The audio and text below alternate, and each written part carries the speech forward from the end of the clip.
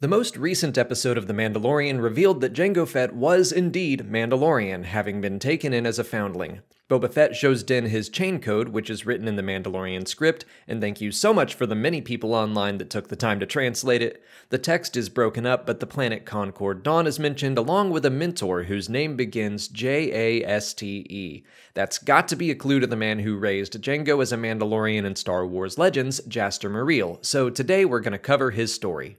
Interestingly, Jaster Mereel was originally the name given for Boba Fett's true identity in the book Tales of the Bounty Hunters back in 1996. Attack of the Clones wiped all that away, so future Star Wars stories in the expanded universe did their best to pivot, and they made Jaster his own character. This story is coming from a comic called Jango Fett Open Seasons, and keep in mind that none of this is technically canon now, but in the absence of any other background information, I certainly think it's worth knowing. Jaster Mereel was born on Concord Dawn, where he served as one of the planet's lawmen, a journeyman protector. He was exiled after he gunned down a corrupt superior officer, but he returned to his home during one of the Mandalorian civil wars, which Boba mentioned in Chapter 14. This war was fought between Death Watch, led by Tor Vizsla, and the True Mandalorians, led by Jaster. The True Mandalorians sought refuge on the farm of Jango's family, and Death Watch executed them for providing aid to their enemies, but Jango escaped and helped Jaster and his men seek their revenge. Orphaned and with nowhere else to go, he was taken in by the warriors. Jaster raised Jango as his own son, grooming him to one day replace him as the leader of the true Mandalorians.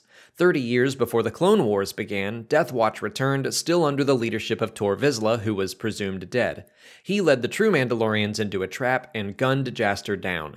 Jango took leadership of the other warriors and got them all to safety. For years after his mentor's death, he also flew Mereel's old ship, which was renamed Jaster's Legacy. It was an amphibious interstellar assault transport which actually bears some resemblance to the Razor Crest. I wouldn't be surprised if that were intentional because a decent amount of Jaster's story has been repurposed for the Clone Wars, Star Wars Rebels, and more. The Vizsla clan and Death Watch were both first created for open seasons. The Vizsla name and the Mandalorian splinter group were brought into the Clone Wars in the episode The Mandalore Plot.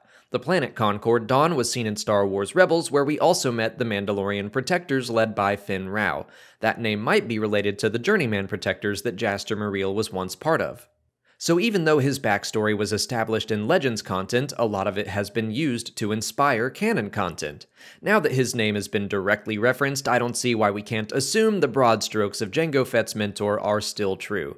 So that's it for today. If you haven't already, please like this video, subscribe to the channel to keep up with all of our Mandalorian coverage, follow us on Twitch, Twitter, Instagram, and Facebook, and consider checking out our Patreon page where we're releasing audio commentaries for all these new episodes.